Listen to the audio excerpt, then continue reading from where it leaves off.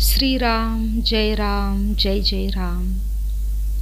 सत्समागम हा सर्व साधनांचा राजा. मनुष्य जन्माला येणे संतांची भेट होणे आणि त्यांना ओळखून त्यांचा सहवास होणे या तिन्ही गोष्टी फार दुर्घट आहेत. म्हणूनच संत समागमासारखा लाभ नाही असे म्हणतात. सत्समागम म्हणजे सर्व साधनांचा राजा होय. काही मागण्याची इच्छाच संत नष्ट करतात मग मिळवायचे कुठे राहते? संत बनणे व्यावहारिकदृष्ट्या काही सुखाचे नसते. एखाद्या स्नानसंध्याशील आणि सदाचारी माणसाच्या अंगावर तेज दिसते कारण देहाला धरून झालेल्या कर्माचे ते तेज असते.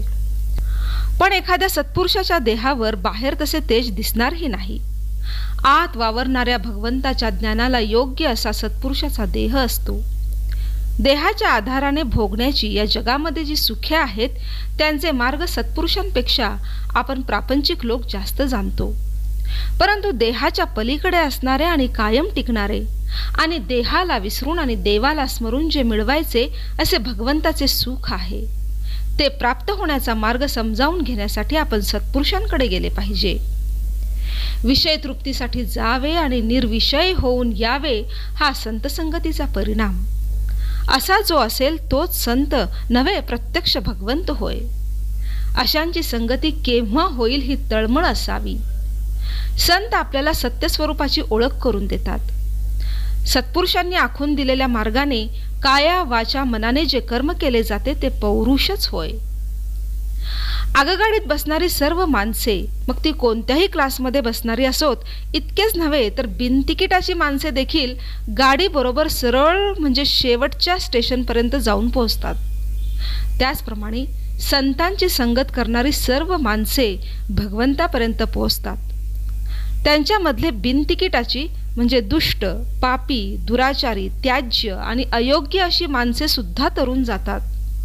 मात्र कोणीही गाडी तेवढी सोडता कामा नये. हा सत्संगतीचा महिमा. परमार्थ साधण्यासाठी सत्संगती फार उपयोगी पडते ही संगती तीन प्रकारची असते. एक संताचा प्रत्यक्ष देहामध्ये सहवास.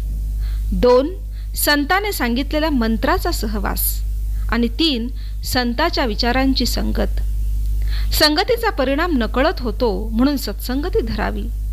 आपण ज्याकरिता जन्माला आलो ते कारण फक्त संतच उमगले. म्हणून त्यांना शरण जावे.